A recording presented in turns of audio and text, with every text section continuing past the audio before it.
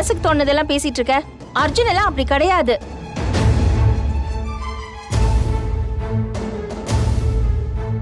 அவன் ஒரு கேஸ் எடுத்துக்கிட்டான்னா அதுல உள்ள போய் எப்படியாவது ஜெயிக்கணும் தான் பாப்பான் அதான் என் புள்ள.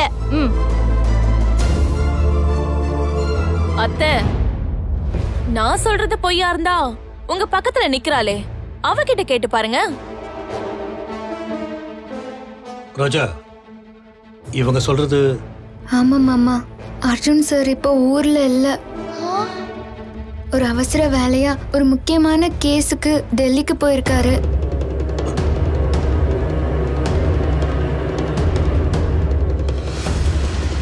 என்ன பிரதாப்? நான் சொன்னா நம்ப மாட்டியா? அர்ஜுன் பொண்டாட்டி வாயால சொன்னாதான் நம்புவியா? இல்ல கல்பனா எனக்கு இப்படி நடக்கும்னு முன்னாலேயே தெரியும். உன் புள்ள எந்த கேஸா இருந்தாலும் ஜெயிச்சிட்டு வெளியே வருவான்னு சொன்னில்ல? இந்த கேஸ்ல அவனால ஜெயிக்க முடியாது. அது தெரிஞ்சுதான் கோர்ட்டுக்கு வராம அவாய்ட் பண்ணி ஏதோ ஒரு காரணத்தை சொல்லி டெல்லிக்கு புறப்பட்டு போயிட்டான்.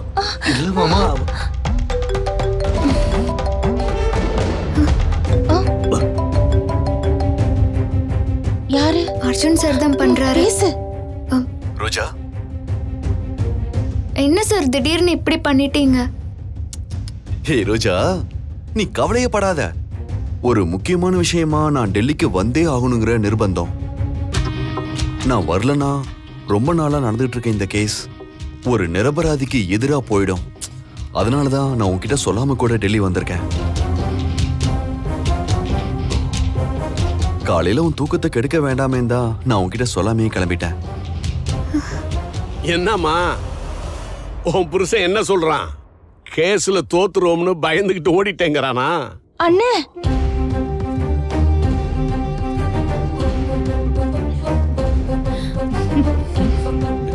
டைகர் மாணிக்கம் சாதாரண ஆள் இல்லம்மா. அர்ஜுனோட பெரிய பெரிய சீனியர் லாயர்லாம் கோர்ட்ல என்ன பார்த்தா தண்ணி குடிப்பாங்க. பாவம் அர்ஜுன். என்கிட்ட முன்னாடியே சொல்லியிருந்தா நான் வேற விதமா ஏற்பாடு பண்ணியிருப்பேன். ரோஜா அப்படியே நீ செல்போன? மாணிக்க மக்கள் கிட்ட கூட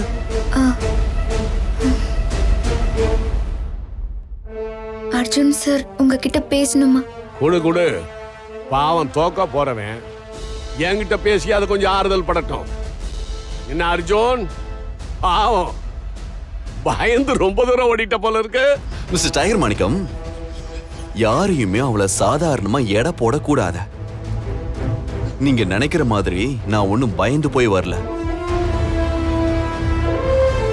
இங்க என்னோட கிளைண்ட்டுக்கு ஒரு அர்ஜென்ட் சுச்சுவேஷன் அந்த கேஸோட ஹியரிங்காக நான் வர வேண்டியதா ஆயிடுச்சேன் ஆனா ஒண்ணு அங்கிள் நான் இன்னைக்கு கோர்ட்ல ஆஜராக மாட்டேன்னு தெரிஞ்சு நீங்க அனு எல்லாரும் சந்தோஷத்துல இருப்பீங்கன்னு எனக்கு நல்லாவே தெரியும்.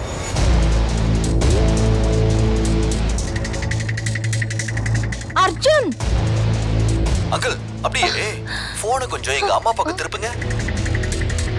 ஏய் என்னடா இது? ஏன் இப்படி பண்ற? ஏன்பா அண்ணன் கூட நீ இந்த கேஸ பார்த்து பயந்துதான் அப்படியே ஓடி போயிட்டேன்னு சொல்றாரு.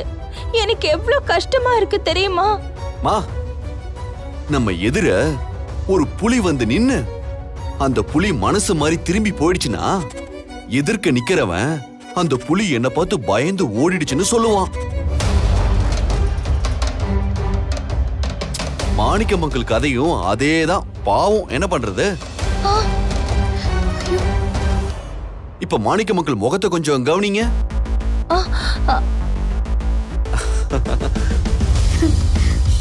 மிஸ்டர் டைகர் மாணிக்கம் இன்னைக்கு அர்ஜுன் கேஸ்ல ஆஜராக மாட்டான். ஈஸியா கேஸ்ல ஜெயிச்சிடலாம் சாந்தமூர்த்தி ஐயாவை பெர்மனண்டா உள்ள தள்ளிட்டு. அணுவை ரிலீஸ் பண்ணி விட்டுறலாம்னு நினைச்சிருப்பீங்களே. அர்ஜுன் ஒன்றும் சும்மா ஃப்ளைட் ஏறி வரல மிஸ்டர் டைகர் மாணிக்கம். மூணு நாளைக்கு பய கணேஷ் கொலைக்கேஸ் விசாரணையை தள்ளி வைக்க நான் பெர்மிஷன் வாங்கியிருக்கேன்.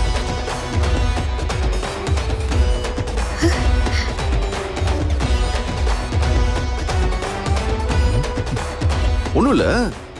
உங்க அபிஷியல் மெயில் கொஞ்சம் செக் பண்ணி பாருங்க. கோர்ட்ல ரெஜிஸ்டாருக்கு என் காரணம் புரியுற மாதிரி ஒரு மெயில் போட்டேன். பையா கணேஷ் கொலைகேஸ மூணு நாள் கழிச்சு தள்ளி வச்சிடலான்னு அவர் எனக்கு ஆன்சர் பண்ணி இமிடியேட்டா ரிப்ளை பண்ணிருக்காரு. நீங்க ஏன் பாவம் இந்த கேஸ நடத்த இவ்ளோ காலையில கிளம்பி வந்திருக்கீங்க?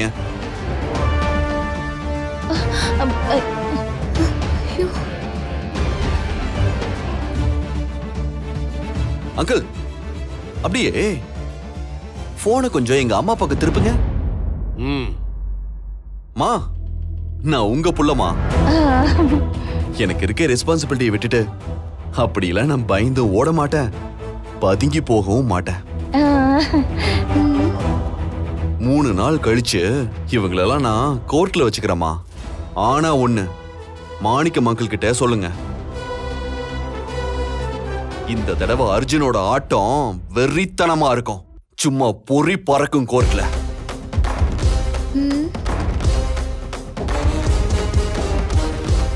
அதுக்கான எல்லா ஏற்பாட்டையும் நான் பண்ணிட்டேன்.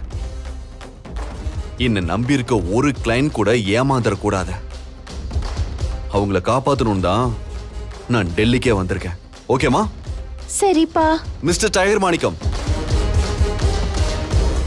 மூணு நாள் கழிச்சு மறுபடியும் இந்த கேஸ் நடக்க போகுது. அப்போ உங்களால அணுவை நிச்சயமா காப்பாத்தவே முடியாது.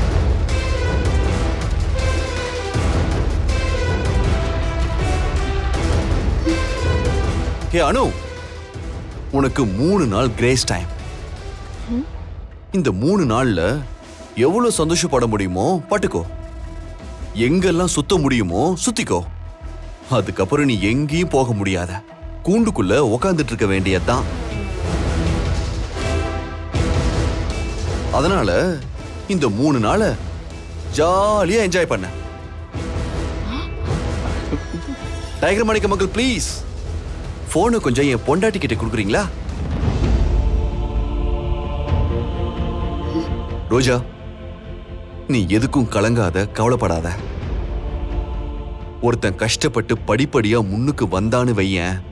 இந்த மாதிரி தான் நிறைய பேரு ஏதாவது ஒரு பழிய போட்டு பேசிக்கிட்டே இருப்பாங்க.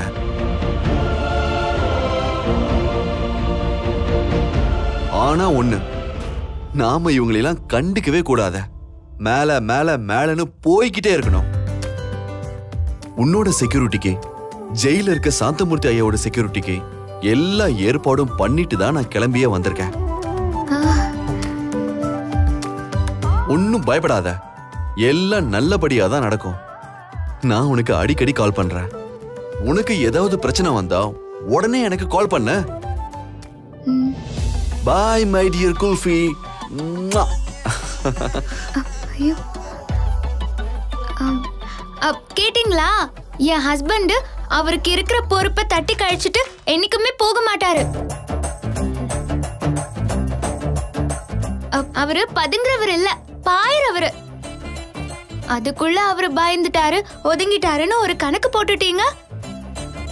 மூணு நாள் தான். அதுக்குள்ள அர்ஜுன் சார் வந்து இந்த கேஸ திறமையா நடத்தி சாந்தமூர்த்தி அப்பாவை வெளியே கொண்டு வருவாரு. உள்ள போக வேண்டியவங்கள உள்ள அனுப்பி வைப்பாரு. ரெடியா இருங்க. அனு உனக்கும் தான்.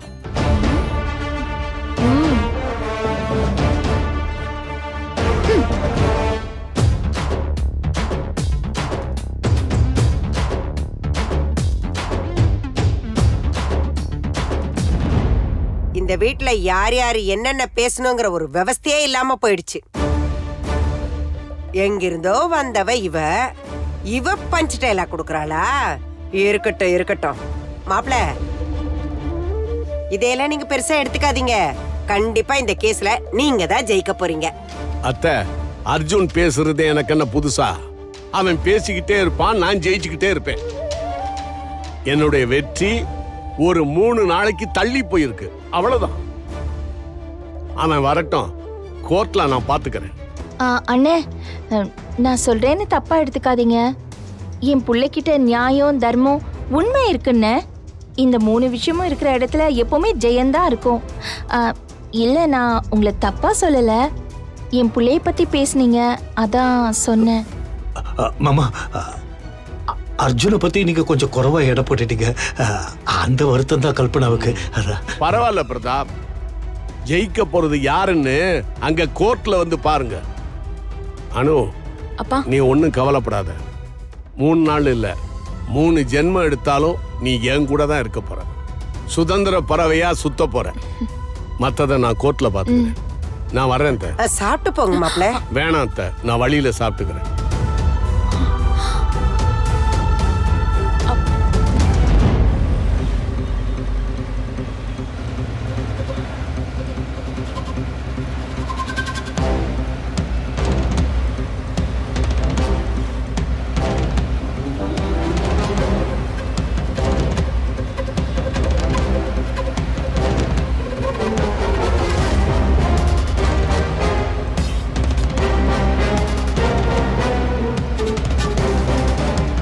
அப்படியே லெஃப்ட்ல கட் பண்ணி போயிடுங்க.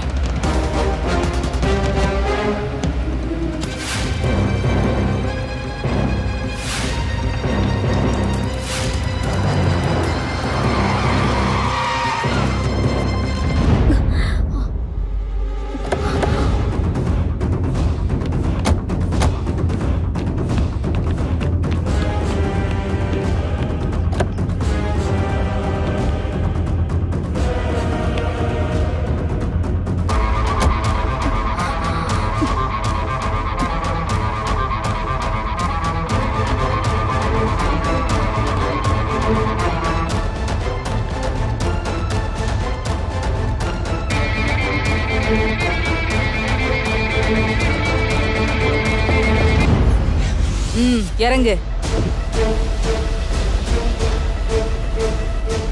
ஏய் ஒன்னதாண்டி.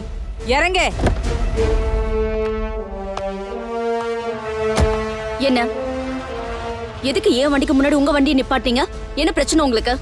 ஹ, எனக்கு எந்த பிரச்சனையும் இல்ல. உனக்கு தான் ஏகப்பட்ட பிரச்சனை இருக்கு. வா வந்து என் வண்டியில ஏறு. எதுக்கு? நான் எதுக்கு உங்க வண்டியில வந்து ஏறணும்? உன் கார்லயே எத்தனை வருஷம் தான் போயிட்டு இருப்ப போர் அடிக்கல? அதான். என்னோட கெஸ்டா என் வண்டியில ஏறு? போலீஸ் ஸ்டேஷன் வரைக்கும் பேசிட்டே போலாம். என்ன? என்ன? என்ன த்ரெட்டன் பண்றீங்களா? ஏ த்ரெட்டனா உன்னை எதுக்கு நான் த்ரெட்டன் பண்ணணும்? தூக்கிட்டு போய் தீத்து கட்டிடுவேன் நான் தூக்கிட்டு போனா அடையாளமே இல்லாம பண்ணிடுவேன். பேசாம வந்து வண்டியில ஏறு. நான் ஏற மாட்டேன். என் மேல என்ன கேஸ் இருக்கு? எது? ஒன்னா ரெண்டா? எத்தனையோ கேஸ் இருக்கு. பயா கணேஷ் கொலை கேஸ்ல இருந்து ஏன் ஸ்டேஷன்ல ஏன் மேற்பார்வையில இருந்த ஆதாரங்களை திருடின வரைக்கும் எத்தனையோ கேஸுங்க இருக்கு. நான் நான் இங்க திருடினேன் என்ன உளறிக்கிட்டு இருக்கீங்க? மைண்ட் யுவர் வேர்ட்ஸ் நீ திருடல. உன் ஆளை வச்சு அந்த எல்லோ ஃபைல திருட வச்சல எந்த எல்லோ ஃபைல்? ஷட் அப் தெரியாத மாதிரி பேசாத சாக்ஷி. பேசாம வந்து வண்டியில ஏறு. நான் உன்னை அரெஸ்ட் பண்றேன். அரெஸ்ட் பண்றீங்களா? யார் சொல்லி பண்றீங்க? எனக்கு யாரும் சொல்ல தேவையில்லை. நீ தப்பு பண்ண நான் அரெஸ்ட் பண்றேன். வாரண்ட் இருக்கா?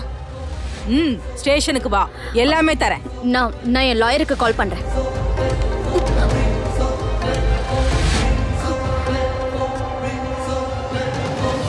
இப்போ உன்னை ஸ்டேஷனுக்கு கூட்டிட்டு போய் உன் மேல எஃப்ஐஆர் போட்டு உன்னை லாக்அப்ல வைப்பேன். நாளைக்கு கோர்ட்டுக்கு கொண்டு போவேன்ல. அங்க உன் வக்கீல் கிட்ட பேசு இல்ல வேற யார்கிட்ட வேணாலும் பேசு.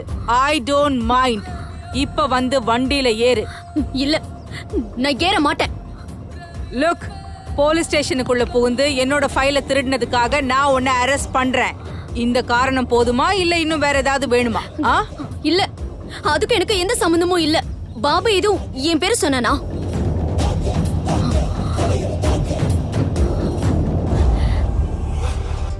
பாபுவை தான் நான் அரெஸ்ட் பண்ணிருக்கேன்னு உனக்கு தெரியாதுல்ல?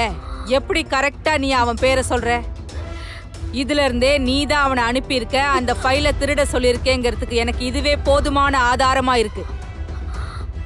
இப்போ நீ பேசிக்கிட்டு இருந்ததெல்லாம் எங்க ஆளுங்க ஆல்ரெடி ரெக்கார்ட் பண்ணிட்டாங்க. எனக்கு இந்த ஆதாரம் போதும். பாபுவை நீ தான் அனுப்பியிருக்க. இந்த கேஸ்ல ஃபர்ஸ்ட் அக்யூஸ்ட் நீ நீதான் பாபு அப்ரூவரா மாறிட்டான். ஓகே வண்டில ஏறு. Constable okay madam. வாமா.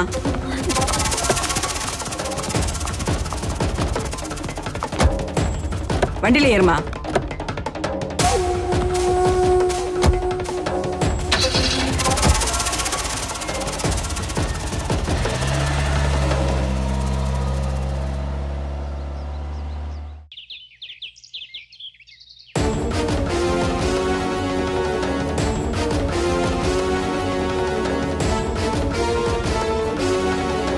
அவருக்கு மூணு நாள் கிரேஸ் டைம்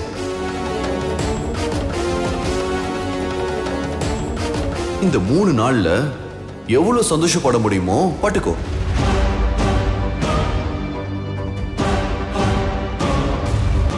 எங்கெல்லாம் சுத்த முடியுமோ சுத்திக்கோ. அதுக்கப்புறம் நீ எங்கேயும் போக முடியாது. கூண்டுக்குள்ள உக்காந்துட்டு இருக்க வேண்டியதுதான்.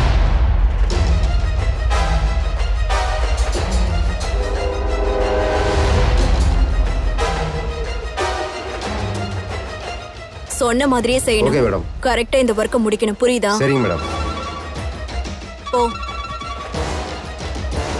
சொல்லணும். என்னாச்சு? திவ்யா சாக்ஷிக்கு நான் நிறைய தடவை ட்ரை பண்ணி பார்த்துட்டேன். லைன் கிடைக்கல. அர்ஜுன் மூணு நாள் கழிச்சு வந்து பையா கணேஷ் கொலை கேஸ்ல கண்டிப்பா ஆஜராவாரு. அர்ஜுன் இந்த முறை சாக்ஷிக்கு எதிரா எல்லா சாட்சிகளையும் கலெக்ட் பண்ணி வச்சிருக்காரு. இந்த கேஸ் விசாரணைக்கு வந்தா கண்டிப்பா நானும் சாக்ஷியும் மாட்டிப்போம். பர்டிகுலரா அர்ஜுன் இந்த கேஸ்ல என்ன தண்டிக்கிறத விட நான் இந்த வீட்டு பொண்ணு இல்லங்கறத நிரூபிக்கிறதுல உறுதியா இருப்பாரு. சரி இப்ப நான் என்ன பண்ணணும்னு சொல்லு. நீ ஒண்ணு செய்.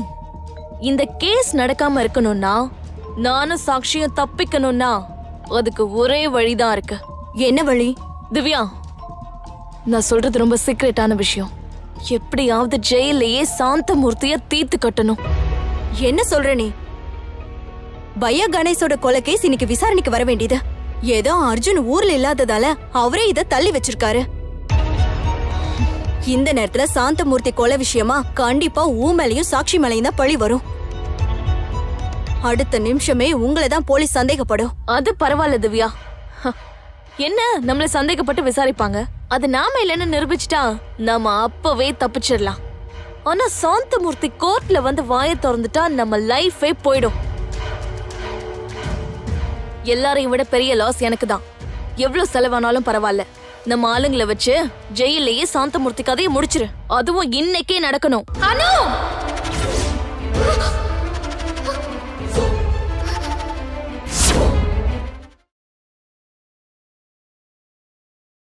இந்த வீடியோ உங்களுக்கு பிடிச்சிருந்தா லைக் பண்ணுங்க ஷேர் பண்ணுங்க கமெண்ட் பண்ணுங்க. அண்ட் மறக்காம Saregama TV shows Tamil subscribe பண்ணுங்க. கவிதை போலே வந்தாளே ரோஜா கருணை கீதம் தந்தாளே